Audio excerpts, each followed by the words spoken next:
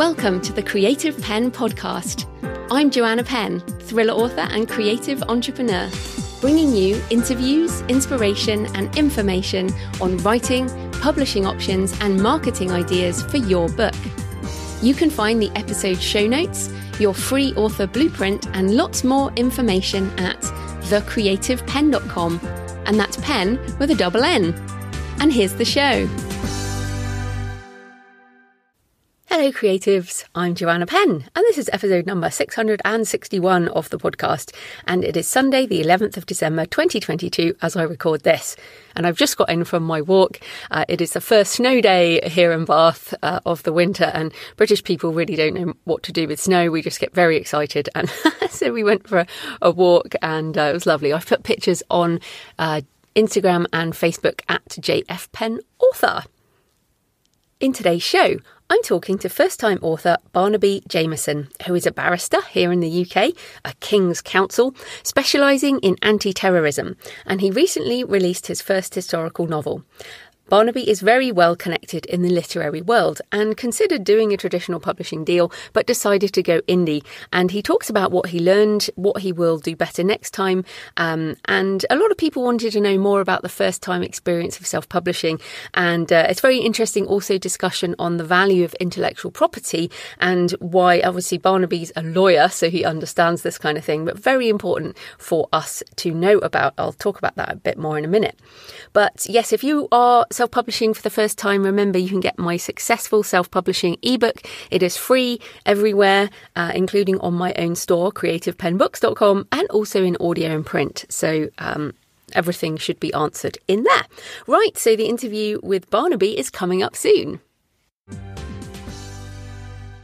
In publishing and book marketing news, quite a lot going on. So, first of all, Draft2Digital can now distribute your catalogue to Smashwords. So, uh, if you log into Draft2Digital, if you use it to publish or if you want to, there's now a button that says Add all my books to Smashwords, which I went in and clicked very happily.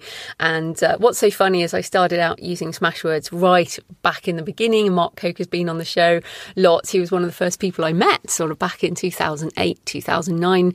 Uh, he was in Australia the same time as me. And yeah, it's so lovely to see. Obviously, I had both uh, Mark and Kevin came on the show last year to talk about the Smashwords um, merger with Draft2Digital. And so now it's all starting to come together. So, what does this mean? Well, if you distribute either through Draft2Digital, obviously, if you just go through Smashwords anyway, you're, you can have your books in the Smashwords store. So, this is a store that people from all over the world can access. Now, you might not know this depending on what country you're in, but many people can't buy books of some of the more well known platforms. Um, but Smashwords uh, is available to everyone everywhere, and that's always been part of their mission, I guess. Also, um, Smashwords uh, has authors writing genres that have been banned by other platforms. So uh, there are lots of things. And what I found interesting about the press release is it says Draft2Digital is in the testing phase of implementing Smashwords' proprietary erotica certification system. And this what this means is that it gives retailers greater confidence and control over the types of erotica they carry. Now, this is is great to know because Smashwords has always supported erotica authors, and uh, this will hopefully mean wider distribution, but also this certification system is great. I mean, we all want we want authors to be able to write things, but equally we need some kind of protection but Smashwords has managed to, by putting in this certification system, to make it easier for both sides, I guess, and, and that is is great. And so Draft2Digital is now doing that too.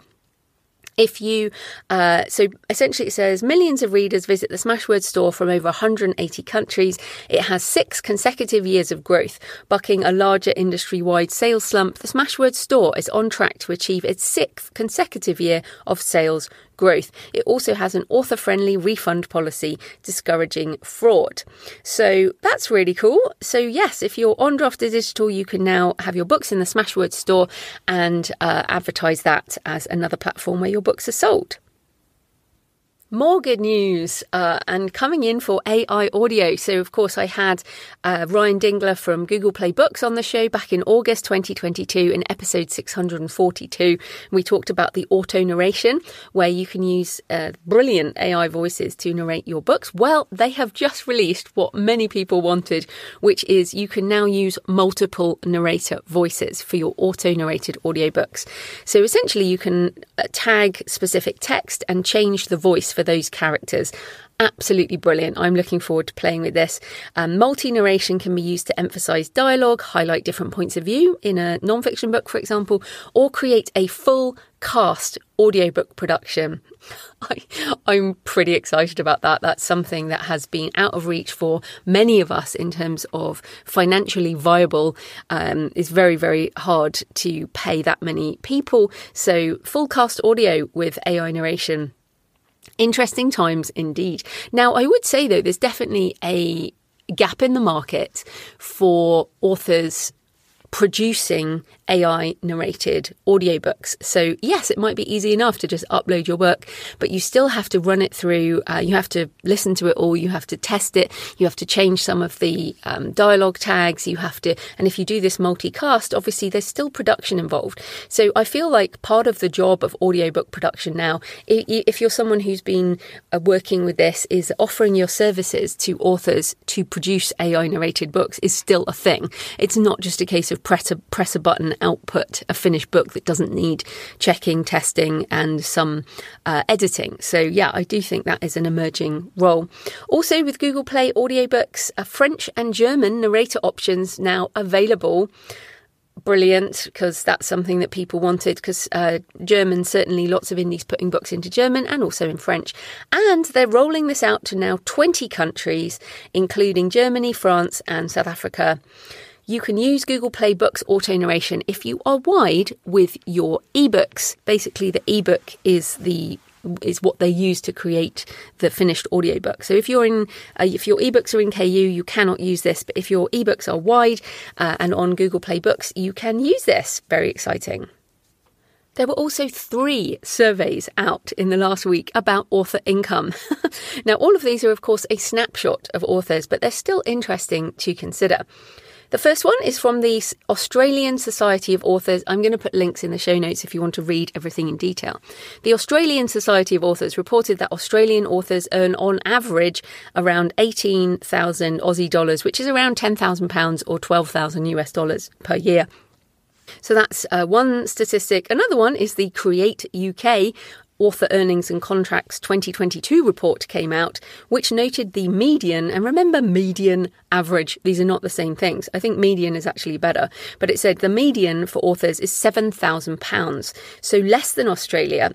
I, this report also has a very dramatic sentence. It says, Following this decline in earnings, there are serious questions over the future of writing as a profession, which I frankly is ridiculous. because they're essentially defining writing as a profession as a one very, very narrow definition around contracts with publishers. And I actually attended the launch of this survey at the Houses of Parliament in Westminster, London. This week I met an Earl from the House of Commons, amongst other people. But it was a very weird event because the focus was essentially doom and gloom and everything's awful. Um, but most of the audience was over 60, and there was no mention of self publishing. There was no mention of the vibrant creative, independent author community. It was all about how awful things are for traditionally published authors and freelance writers.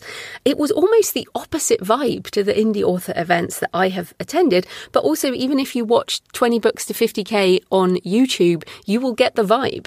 And I don't know, I, it's very frustrating because I want, I really wanted to kind of stick my hand up and say, hey guys, everyone, there's possibilities for you if you just embrace it. Uh, so it was it was kind of sad because I really wanted to open their eyes to the possibilities of what you can do. But yeah, it was. Um, I, this is why I wanted to report on it because I want you to read these surveys and I want you to make a decision as to where you want to be and what you want to do. Because to me, this is a choice. You get to choose your path now. Uh, there isn't only one choice. So please just educate yourself, understand what your choices mean. And yeah, things can be different. So, anyway, back to the survey. It says advances are becoming rarer, with almost half of all authors never having received any such payment. Now, this is classic because, of course, I have never received any such payment as an advance. Oh, no, I say that. Uh, that's actually not true. I have received an advance for foreign rights contracts, but let's say in English. So, um, yeah, advances are not necessary in order to make a living with your writing, that's for sure. They also say, which I do agree with, copyright continues to be little understood and underutilized by authors. And I absolutely agree with that because as much as I bash on about copyright and encourage people to learn about it. And authors like Kristine Kathryn Rusch, Dean Wesley Smith, Orna Ross, and the Alliance of Independent Authors have been trying to educate authors on this for many years, many authors have not taken the time to learn about copyright, which is what we make our living from. and in fact, Barnaby uh, Jameson in the interview later mentions that this is why he went as uh, the indie route because he didn't want to sign away his valuable intellectual property rights, even as a first-time author. And he saw that this, the contracts he was he were, was offered were just not good enough for what he valued his IP as. So please, please educate yourself around the importance of copyright and intellectual property. But uh, the UK and, and Australian surveys said, both of them said, many authors rely on multiple sources of income to make ends meet. And they framed this as a bad thing. And this also annoyed me. You can tell I'm, I'm ranting about this, I know, but I just, I really want people to see that there's another way. Um, I've been talking about multiple streams of income for over a decade, and I just personally I can't see why you wouldn't want multiple streams of income. I think it is absolutely crazy to only have one stream of income, and of course I have a personal reason for this. Back in 2008, uh, 2007, 2008 was I had one stream of income. It was my job, and then the global financial crisis hit. I got laid off, like many other people, and I did get another job very quickly quickly. But the point is, everything ended on the day some other company decided to stop my income. And if you only have one stream of income, say one publisher or one company um, or whatever, you you are at risk. So to me, having multiple streams of income is a very good idea. And sure, if you traditionally publish, then having multiple publishers, multiple formats, if you're in KU. It's about having multiple series, again, multiple formats. Not everything has to be exclusive. You can have multiple streams of income however you do this. And if you have a day job, then awesome. That's when you build your writing business up on the side, as I did. I did five years of having my day job and building up this business. But I have, at this point, I have very, very many streams of income. Uh, it is, it is not this business is funded by lots of different things, including you wonderful patrons. Each of you is a stream of income because if someone stops and every month people stop um, supporting the show, which I completely understand, and then new people join. And to me, that's where our future lies. It's not just in one contract that provides all the money, and and that's why these um, reports are damaging because they seem to insist that that's the only way. So yes, those are the two traditionally published focusing reports, which are pretty depressing. Please have a look at those. But then take a look at the written word media report, which is called The Making of a Six Figure Author How Authors Evolve with Their Income. And that's at writtenwordmedia.com, links in the show notes. So essentially, they have a really good breakdown of the different levels of income that authors make and this is a per month situation. So, say under a thousand a month, uh, a couple of thousand a month, and, and so on, up to 10,000 a month, and then over 10,000 a month. And essentially, the bottom line is an author's income increases based on how many books they have in their backlist and how effective their marketing is. And most authors making over $10,000 a month, so a six figure income per year, have over 50 books. And to write this many books, you really need an indie author mindset and the freedom to write, publish, and market how you like. Most traditionally published authors will never publish over 50 books, but there are increasing numbers of indies who do this. And it's really, I mean, if you, if you commit to it, a bit like Dan Padavona was talking about the week before last or whenever that was. Uh, you know, it's a mindset shift. It's a I create things. I love creating things. I love publishing things. I just love this. And yeah, as ever, I'm more excited about what's going on in the indie space and our potential options in 2023. Uh, I'm, yeah, personally, I'm more excited than ever. And why I hate these doom and gloom reports is that they take away the empowerment of the author. And I want you to be empowered with the knowledge you need and with the inspiration you need to get your books out there. So you do also need to spend time on marketing. And again, I think one of the issues with these traditional reports is that they're sort of like, oh, poor us, traditional publishing is not doing enough marketing for our books, therefore it's their fault. But look, the reality is that marketing a book is a often a bigger challenge than writing because the writing a book, yes, it's a real challenge at the point when you're writing it. But once it's done, it's done and you've got a book, you've got an intellectual property asset.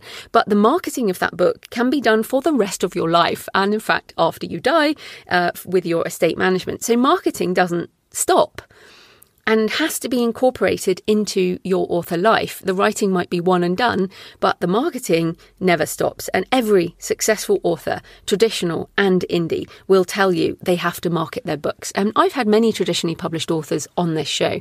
Clare Mackintosh springs to mind even Tess Gerritsen, who's been published for year, many decades now, um, you know, very traditionally published, talked about marketing. So yeah, I just think the reality is that you have to do this.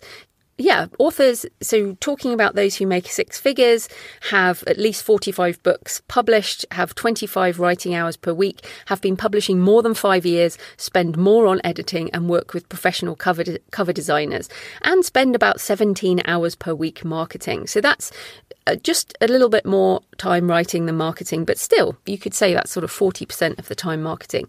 With online marketing the most effective and in person events the least effective form of marketing. So please, enough ranting. I, you know how I feel about this. I want you to be empowered. I want you to make the money you want to make, but it is about the work we do. basically. And I know it doesn't suit everyone. I absolutely acknowledge that. Some days it doesn't suit me either, but thus is the job. So check out those surveys and decide where you want to be in 2023. Then learn what you need to know and put it into action. And every single thing you need to know is out there in the world for free uh, on my podcast, on you know all the podcasts that are out there, the Alliance of Independent Authors blog, um, 20 books to 50k at the Facebook group, the YouTube channel. It's all out there. So, yeah, we get to choose our adventure. In my personal update, I got my edits back from my editor for the pilgrimage book, so I'm in finishing energy mode there. I want to get the special edition print formatted with the extra colour pictures, the hardback, the flyleaf foil or whatever it is called so I can get a proof copy done and figure out the postage so that then I can finalize my Kickstarter.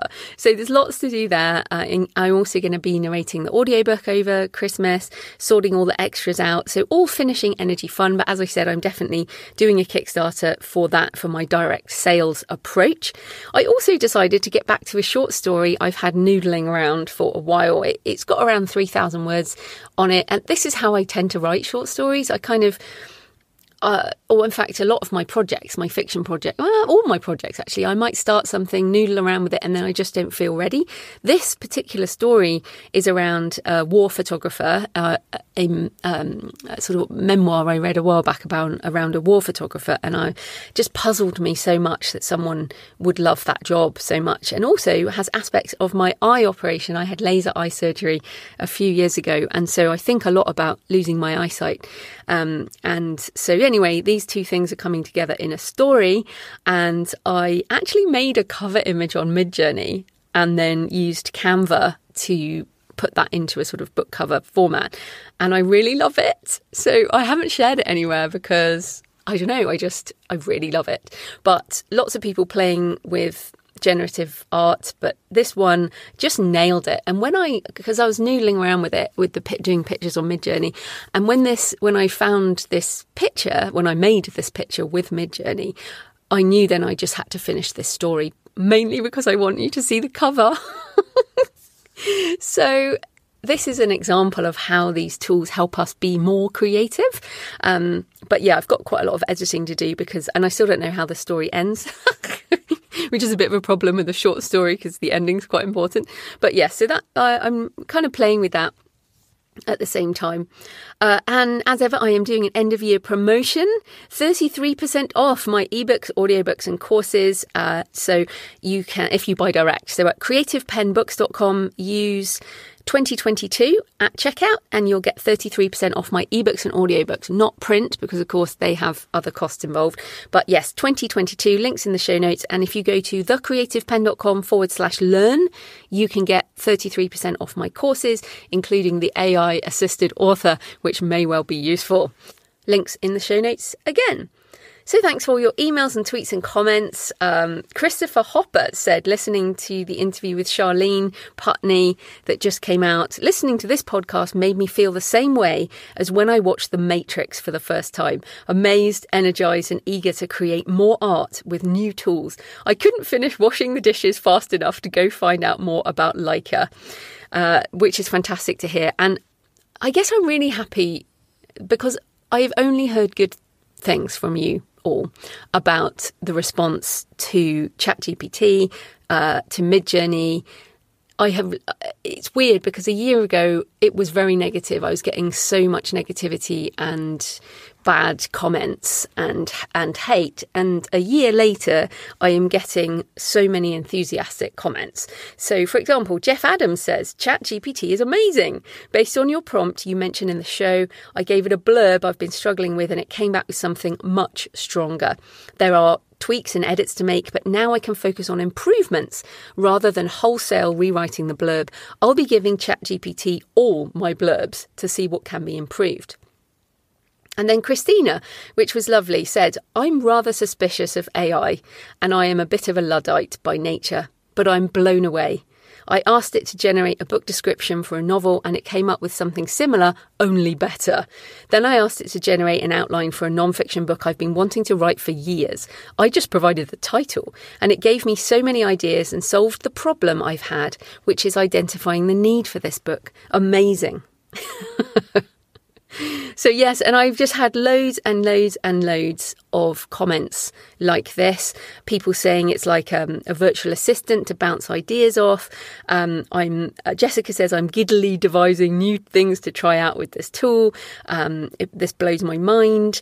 Um, Angela says this is like a writing buddy for my current project. So, yeah, I mean, it's it's really helping people create more and that's the attitude i want us to have let's create more and more wonderful things and get rid of the average stuff and uh, let it do the average stuff so we can do amazing stuff. So you can tweet me at the creative pen with a double N, send me pictures of where you're listening or comment about the show. You can email me, joanna at thecreativepenn.com, leave a comment on the blog or the YouTube channel. I love to hear from you. It makes this more of a conversation. So, this episode is sponsored by Ingram Spark, which I use to print and distribute my self published print books wide.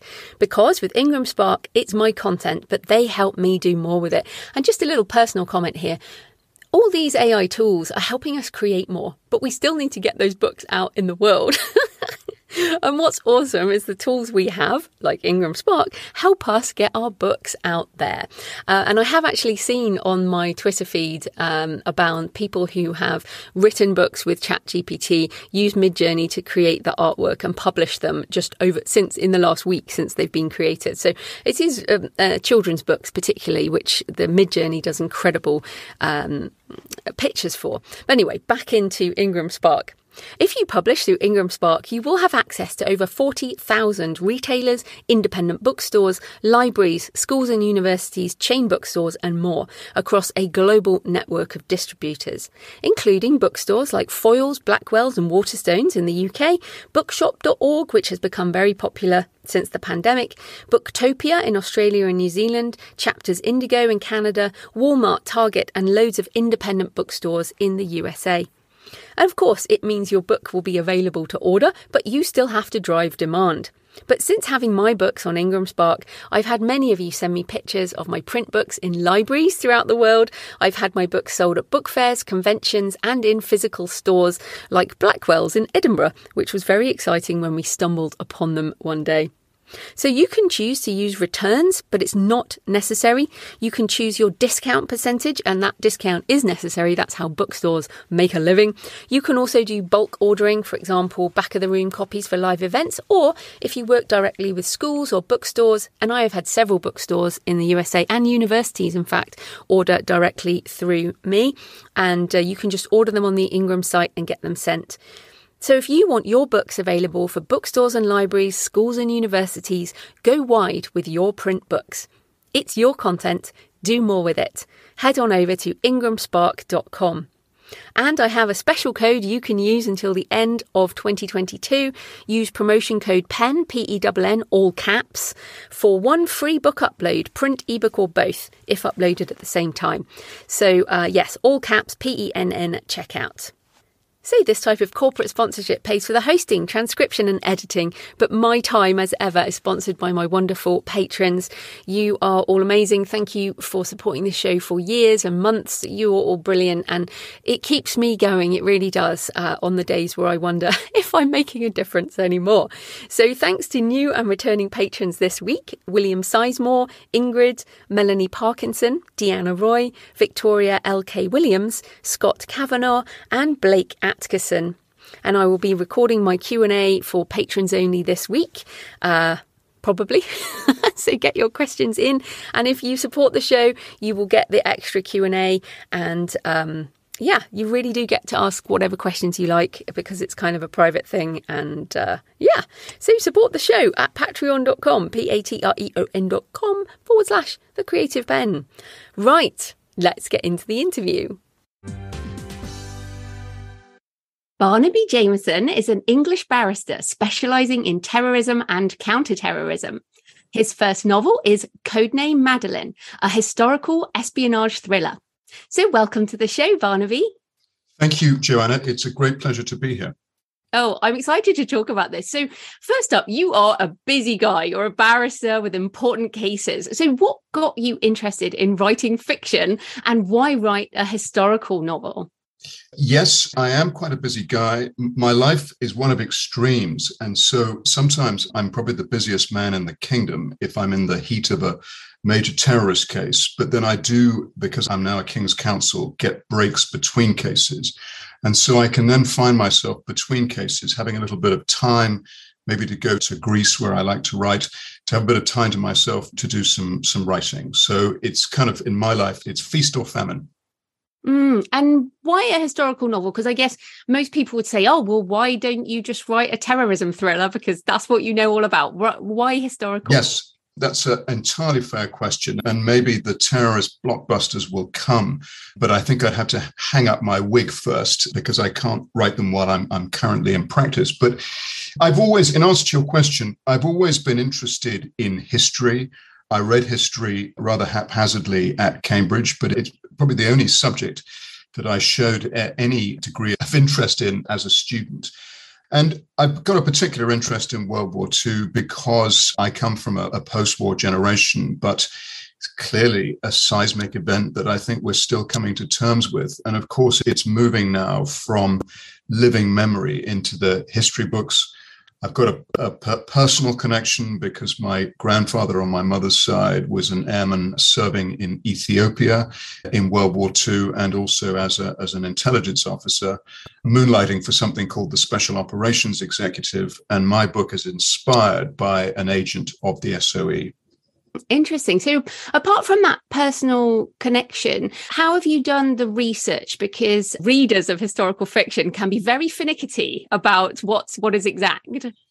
You're absolutely right. And when my book was edited, every single historical assertion or description was challenged at, every stage. And you're right, historical fiction writers do not suffer fools gladly. I read the effectively the official history of the Special Operations Executive, written by an ex serving SAS soldier during the war called MRD Foot, who's since died. And then I read a series of biographies of the various characters in the book whose stories I have fictionalized, but they are based 90% on, on real people. So, your writing process. So, I'm interested in this. I mean, obviously, as a barrister, you do a lot of writing as part of your job, but obviously, writing fiction is quite different. So, what did you learn about this different type of writing? How did you have to change things? One of the strange things about criminal work, which is the work that I do, is that it's probably more like fiction writing than any other part of the law, for the simple reason that in a criminal case, there is an opening speech by the prosecution, and then there are closing speeches from both sides. And a case is a little bit like a story. It's about an event that took place sometime in the past and is recreated in court. And the prosecution has to persuade the jury that what happened happened in a certain way. And the defense obviously have a job to try and dismantle that narrative. But as somebody that mainly prosecutes in quite big terrorist cases, it is more like writing a short novella. And so some of my opening speeches have been up to 25, 30,000 words. And in the neo Nazi cases I've been prosecuting recently, there's a throwback to Nazi history. And I'm obviously writing about the Nazi period in my book. And so actually in my case, my the writing in my work is actually more enmeshed with my fiction writing than perhaps would be the case if I was any other type of barrister. I guess that's, as you say, that's the story angle, but you're essentially, I guess, performing a monologue at, at, that point. Whereas in a novel, I think one of the hardest things for new writers is dialogue. So it's conversations between characters that seem real because often they're not in in whole sentences and that kind of thing so were there challenges in the actual writing of fiction that you particularly noticed yes and dialogue is one that you rightly alight on and again, a curious way, I, I, think my work has actually helped with dialogue because sometimes I have to look at lengthy interviews between the suspect and the police, which is sometimes just pages and pages of dialogue. It's questions and answers. And then in court, when I'm asking questions of a witness or, or of a defendant, that is a type of dialogue. And so I think one's ear for dialogue, even with all sorts of different individuals, expert witnesses, defendants, becomes quite sharp. But I think there is a bigger question in what you ask, or what I interpret as something that I found difficult, which is finding your voice basically as a novelist as opposed to a prosecutor. And I, I, didn't find that at all easy. And just for me, it, it just came with an awful lot of practice, rereading and rewriting what I had written. And eventually, I, I, think I found my voice, but I suspect my readers will judge that for themselves. yeah. And also, I think it will emerge. I mean, when you were beginning your legal career, you might have had 10% of the voice you have now. And I feel like as you develop as if you carry on with fiction writing, which I know you are, then that will be something that also emerges. It's like a, a strength. Any kind of strength comes from practice and confidence that you build up. You can't help but build up over time, right? There's no way someone in year one of a legal career is as confident and good as someone in year 20, for example.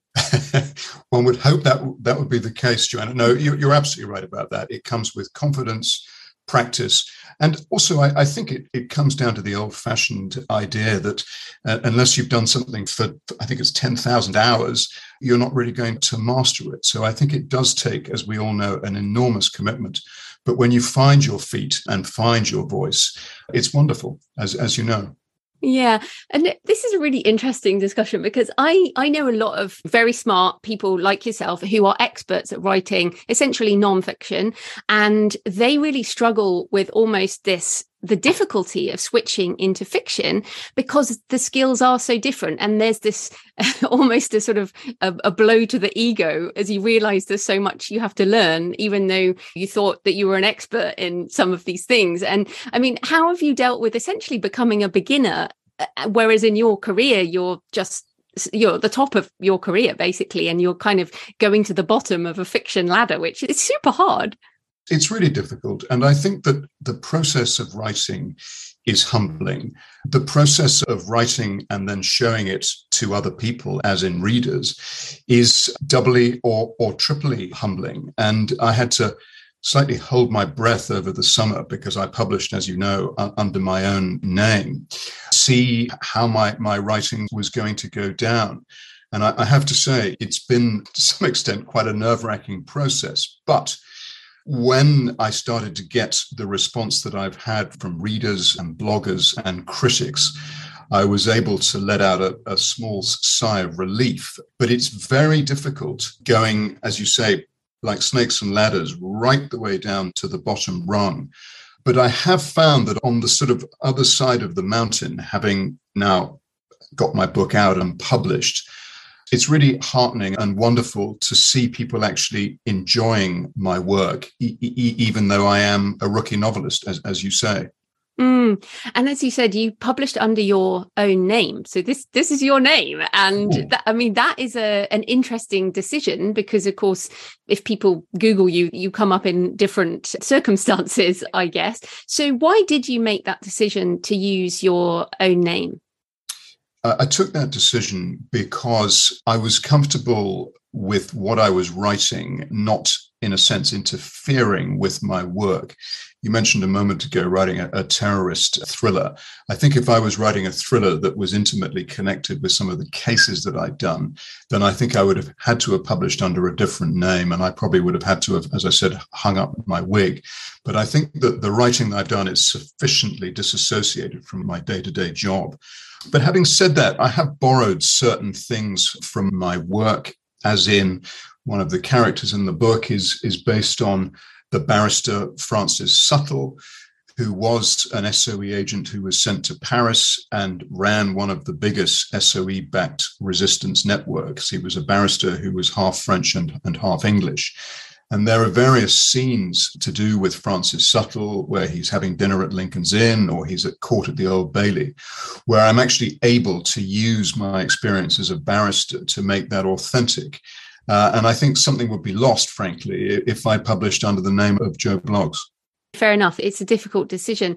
Okay, so let's get into the publishing side because you have a lot of connections in traditional media. You absolutely could have got a traditional publishing deal. So, why did you decide to self publish Codename Madeleine? Thank you. I did have various publishing deals or offers that were made to me, and I was in the extremely fortunate position of having a choice. I had offers that were made to me through the traditional route, both through an agent and also through simply personal approach from me. And so I was looking at the various offers that I'd had obviously very grateful for them. And there are enormous upsides of publishing traditionally, as you know, but there are also some quite significant downsides. The first, obviously, is that your rights go for a fairly small amount of money, given the amount of work that's gone into a book, but that's a, a common problem. But for me, there were two other factors which I had to take into account. The first was timing. Had I gone down the traditional route, the offers that I had meant that I, the book would not have come out until probably autumn 2024. And just in terms of my work, I had a juncture this year. This was the this was kind of the now or never moment for me. And so the timing was something that really pushed my consideration.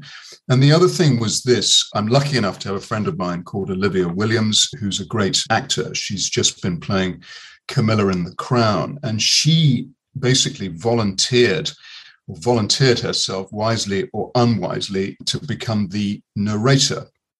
And it was just talking to various people that I realized that having the book read by somebody of Olivia's stature was potentially quite valuable IP. And so to that extent, I was actually, I became actually quite cautious about handing over the rights for a, a, paltry sum and actually hanging on to what was potentially some valuable IP. And so that really is what tipped me into the, the independent route at this stage. Mm, because, of course, traditional publishing contracts now include ebooks, audiobooks, and print. And I mean, most of them are not letting audiobooks go separately or ebooks go separately, right? You put your finger on it, Joanna, and I was worried, deeply concerned ab- about ceding my sort of my queen on the chessboard. And of course, once you've got an A-list actor has done one book, then there's a good chance that else of her stature will read book two. I'm not going to give the name of the potential reader of book two, but it's somebody that we all would have heard of. Mm, I love how you you've leveraged your contacts in such a great way to go the independent route and I think that's brilliant. But just coming back to you said about valuable IP so valuable intellectual property and I mean obviously you're a lawyer you understand these contracts and the value of these things but many authors don't. So, how would you advise new authors listening, people who have never been off offered any money for their writing. And in fact, you hadn't been offered money, I guess, for your fiction before this. So, how can people almost look ahead to the value of intellectual property when they're completely unproven? I think it's a very difficult question. And obviously, as a rookie writer, if you submit your work to an agent, an agent likes it, takes it to a publisher, 90% of you is going to be so thrilled that you're going to be published that that is going to be the main driver of your emotion. The fact is that somebody is, is going to pay you maybe, I don't know, a small number of thousands of pounds for the rights and will then publish your book. But of course, the contracts, as you've rightly observed, are stacked in favor of the publisher and against the author. I mean, that's just the way of the world. And I think what's changed now with the independent route is that sort of people in my position who are fortunate in having the choice of either traditional or independent are able to stand back and say, well, yes, I'd love to be published. And I'm so glad you, the traditional publisher, feel this is publishable. But I'm actually going to go about this in a different way. And I picked up from your book on, on book marketing one of the avenues open to you as an indie author, if you decide to write more than one book and you write a series, is that you do have the possibility, if it works out, of becoming, as it were, the next Joanna Penn. That is to say, that the CEO, their own creative endeavor. And I think for me, certainly, that, that is very exciting. And I've got more books in the pipeline, and I will review the position perhaps after book two or three and decide whether it's best to stay independent or whether it's best to hive some of the publications off for traditional printing. So I'm just going to sort of watch and see. But I think for somebody going into the profession, they have to ask themselves, I think, some hard questions. Are they going into it purely for the love of the writing and sod the money? Or are they thinking, I'm going into this because I'm doing it for the writing, but I'm also thinking about a commercial career here? And if it's the latter, then I think that there's a strong argument for being quite reluctant to cede all of your IP to a traditional publisher for a song. I love that. I love CEO of your creative endeavor. I think that's yeah. wonderful. And, and certainly that's, I guess that's the route I've chosen. And um, so I know you wanted the book to be the best it could be, and you were absolutely concerned with quality. And the book does stand next to a traditionally published book anywhere. So, what publishing services did you use, and any lessons learned or tips for authors who were just starting out self publishing? Yes, I think the first thing to say is to underscore what you just said, which is that I think an independently published book should be able to sit on a bookshelf at the same standard of or better than a traditionally published book. I mean, that was the test that I, I set for myself. And the way that I, I, went about it was, first of all, I, I, had it edited within an inch of its life. I went to the Ink Academy in London, which is a, a wonderful service. It does creative writing courses, but it also has on its books some very good editors. And somebody called Marina Kemp, who heads up the Ink Academy, she took a look at some samples of chapters and she said, Right, I know just the editor who I think is going to enjoy this book and you'll enjoy working with him. And I will always be thankful to Marina because she put me together with a guy called Phil Connor. And he edited my book and, and he edited it just so unbelievably well. And the piece of writing he, he produced at, at, the end, which was a sort of critique of, of the book, was almost publishable in, in, its own right. It was so perceptive and brilliant. And he's one of the, the people at the beginning of my book, along with you, to whom a dedication is made, at least there's uh, mention. And so it went to him. It then goes through all the other editing processes. And at that stage, I got in touch with somebody called John Bond, who I think you know. Yes, he's been on the show a couple of yes. times. Yeah, from and, White Fox. he's the CEO of Whitefox, which produces I think, very sort of high end, independently published books. I mean, they are absolutely beautiful books. And my experience of Whitefox is, is that they have extremely exacting criteria, perhaps even more exacting than some publishers that I've come across one has to go through a quality threshold in order to publish through Whitefox, because as John said to me, I'm putting my name uh, along with yours, as it were, on the spine of the book. It's Whitefox Publishing Barnaby Jameson. But that turned out to be a bit of a, a bit of a marriage made in heaven. There are other barristers who publish through Whitefox. One is Bob Marshall Andrews, KC, and the other is somebody called Nigel Lithman, KC, who's a judge who's just written a book about being a judge. And so there was already a relationship between barristers and judges and, and Whitefox. And I found dealing with Whitefox extremely careful, great attention to detail. And the book went out, as you know, for any number of different edits after the, the first edit. But then going back to what you said about publishing under my own name, I also sent it to members of my profession, in particular Im, Imran Mahmood, who's written You Don't Know Me, which has become a, a Netflix series, just to make sure that you know he was content along with all the other editors that this was the right thing to do uh, under my own name. And so it had input from any number of different individuals as well as writers who were friends who also read the manuscript very generously. Mm, so it's a real collaborative process. Yeah. And as you said, I, th- I think you were more rigorous than it. I mean, it, a traditional publishing house will be rigorous, but they also have a ton of other authors to work with and yes. they have a process and you go in the queue. But what you did is you worked with, like you said, so many different editors and so many different people to help you. I think you did an incredible job there. So did Whitefox do your ebook and your print book? Yes, basically they did everything and they helped me sort out the audiobook as well. I mean, that there you've got to sort of tie in with the studio, but they were deeply involved in, in, in getting the studio and everything else organized. I mean, Olivia herself was a great help with that. But as you say, it was basically one big collaboration involving a lot of extremely generous people with their time and, and as people to help me with the print, the ebook, and the audiobook. Mm. So, w- was there anything that surprised you, or that you were like, "Oh my goodness, I just did not realize that," or that, that you learned that was unexpected or surprising? I think having read How to Market a Book, I had a reasonable grip on, the importance of marketing. But I have to say, in, in the last few months, I have really felt how much attention really needs to go into pushing your book forward, pushing it into, into the limelight at every opportunity. I'm particularly lucky because I'm a barrister, but there are other barrister writers within the profession who have put their shoulder to the wheel and have helped me. And so I've had a review from the secret barrister, who I think you would have come across. Mm, and yeah, yeah, famous tweeted, in the UK. exactly, he's t- tweeted about my book. Somebody called Rob Rinder, otherwise known as Judge Rinder. He's a barrister. He's also did a bit for the back of my book. He put a, a bit on the blurb. Um, and Imran Mahmood, who I mentioned a moment ago, they've really helped me with the marketing of the book.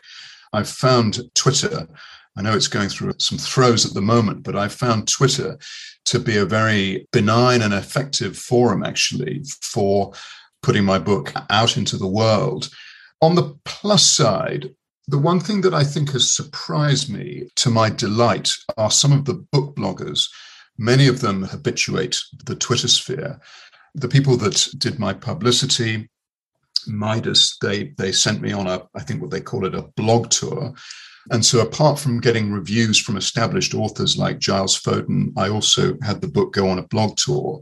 And it was when the reviews started coming in from the bloggers that I, I really was c- quite overwhelmed. Um, I was completely blown away that, that they they obviously really felt very deeply about the book. And I had words like mesmerizing, and even the M word, which I'm almost too shy to mention, but somebody did, use the, the, the, word masterpiece, which I, I couldn't really believe.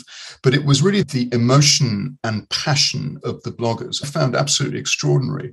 And of course, one blogger will quite often pass the book on to an, another blogger. And so some of the people have sort of come on the bandwagon. And that has produced a little bit of a, of a head of steam. And just today, a, a blogger gave away two copies of my book as part of a competition that that he was running. And I was only too happy to, to help him out.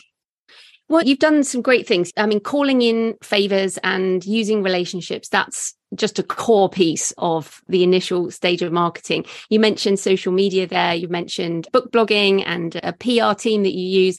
Now, I know people listening are like, you know, but Barnaby, earlier you mentioned about the importance of valuable IP. Like, how is your profit and loss looking? You don't have to give us numbers, but it seems like for a book one, this is an investment and this is not necessarily a profit making venture as yet. Yes, uh, that's a fair comment. I mean, looking at the numbers, I haven't yet recouped the outlay, but I'm not a million miles away. And I think a lot of that actually is driven by the sales of the audiobook more than anything else you know, from a profit point of view, is is is the main re- revenue driver, and so it is an investment. And I think for any rookie writers out there, obviously I, I, wouldn't advise against selling the farm to go down the route that I've done. I've obviously put some investment into this, but I'm quietly confident I would say that in time um, I will find myself moving from the red into the black. And there was just one other comment that I was going to make, if I may, uh, lest I forget, which is just going back to social media and Twitter, but it taps into marketing generally. But the one thing that I've found in the last few weeks, people have really responded to very well are little short films, which I've put onto my um, Twitter feed. And I've got a talented young filmmaker called Gabriel DaCosta or Gabriel Seeley DaCosta, who's just put together a two minute film, which is at the prologue of my book being read, and you can hear Olivia Williams's voice. And I've also got my technical guru, um, and Mentor, which is my 12 year old boy, Pharaoh, who's also done some compilation films of Olivia Williams, which again you can see on my Twitter feed. There seems to be something about a sort of two minute film that people can't quite resist watching. And I'm at the moment, I've, I've now set up a, a TikTok account, although it's a fairly young TikTok account. And again, I think if authors have got any expertise in this area, putting together short films, or they know whiz kids who can, that to me, I, I, would say, has been a very valuable part of the marketing. And just looking on mm. Twitter today, more than 200 views of, of a short film that's only been up for a, a few days, which is quite a lot for Twitter. Yeah, so it's so great to hear about all the different things you're doing. And of course, you said you're almost in the black, but you're also planning a series. So tell us about the series and what will you do differently next time? And I guess how are you going to build on what you've started? Well, thank you. The series is called the Resistance series. And part of that was actually going to this very good editor, Phil, and talking to various people. And at the beginning, my book one w- was giant. And then I'd realized I'd really written two or even three books. And so it's been spread out into a series of potentially six or eight books. And so with each book, what I'm doing is taking one particular SOE agent as the protagonist. You may meet them briefly in book one, and then they become the protagonist of book two.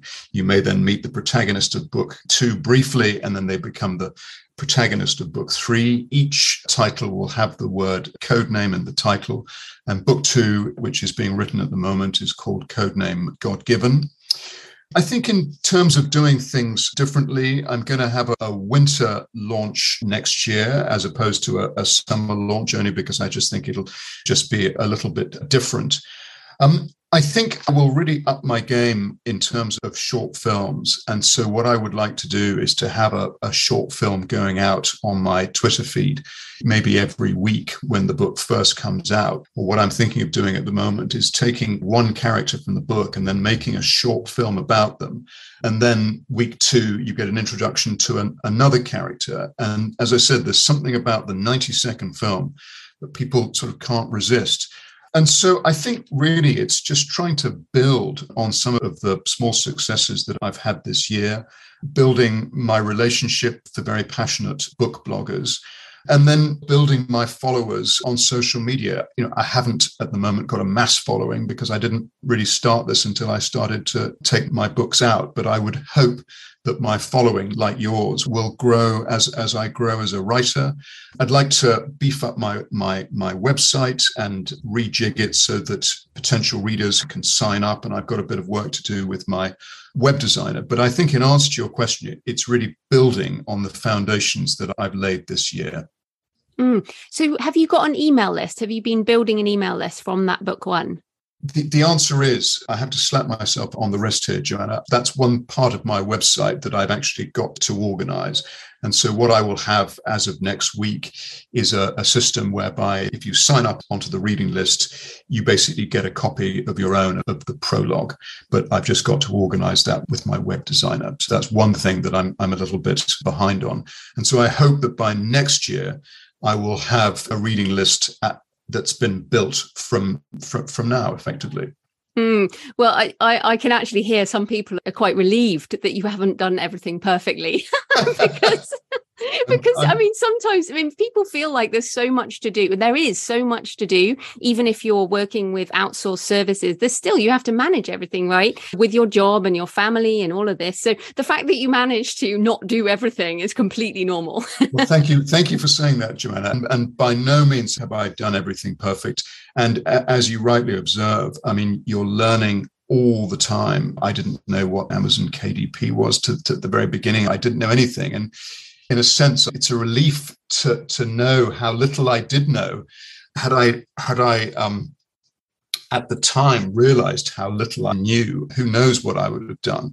But I think if you're willing, as you say, to learn and just to go out into the world, I found that the response has been positive because I think people respect the fact and admire the fact that you're putting yourself out there. Your book is an expression of your soul in the pages of a book. And I think if you've got the courage to do that, people do respond. I mean, you know this as an established author. And when they respond very viscerally, it makes everything worthwhile. And I did just want to ask I mean, you work in a very traditional industry, like you've mentioned your wig, and if a lot of people are listening outside of the UK, and um, I'll have to get a picture of you and put it on the show notes with, with all your gear on. But I mean, it's a very traditional industry and people respect tradition. So, what's been the response? You mentioned there that you have had a lot of great responses and friends helping, but have people I don't know, looked down on you at all for self-publishing, or do you feel like the so-called stigma is is just not there anymore? I don't think uh, it's really occurred to people, if that's the honest answer. I mean, I, I, think that unless somebody really knows about books, if a reader is somebody you know from the publishing world, the first thing they'll do is is really turn to the first page and see who the publisher is.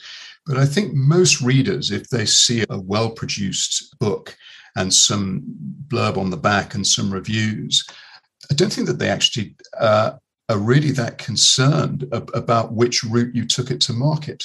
And I think probably that's what's changed within the publishing industry. And I think that the traditional publishers, to some extent, should be looking over their shoulders because people like me coming along, they don't have two years to wait around for their book to go through the, the system. And so we're, in a sense, jumping the queue. And I think it's in a way quite healthy for the traditional publishing industry to realize that there is another way open for authors like me. And I think competition is, is good.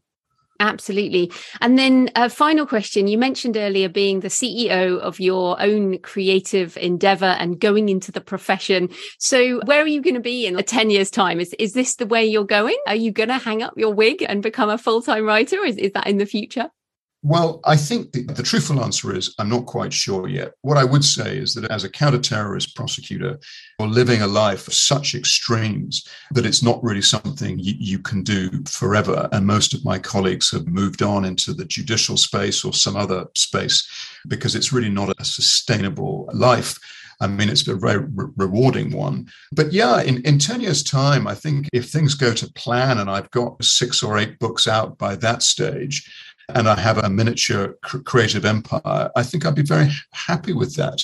And I take an enormous feather out of your cap and a leaf out of your book. And if I could emulate even a tiny amount of what you've done in this space, I think I'd be very, very happy and rewarded. Oh, you're very sweet. so, where can people find you and Codename Madeleine and everything you do online? Okay, probably the first port of call is going to be um, barnabyjameson.com. It sometimes comes out as barnabykjamesonwriter.com.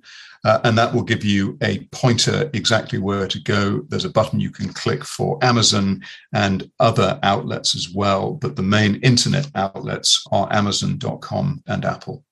Brilliant. Well, thanks so much for your time, Barnaby. That was great. No, thank you, Joanna. It's been an absolute pleasure. Thank you for having me. So I hope you enjoyed the discussion with Barnaby and that it gave you some insight into why you might decide to go indie and some ideas for what to do if you're new to self publishing.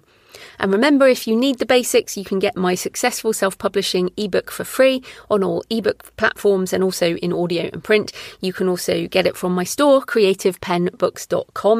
And remember, you can get 33% off at checkout using the code 2022 2022.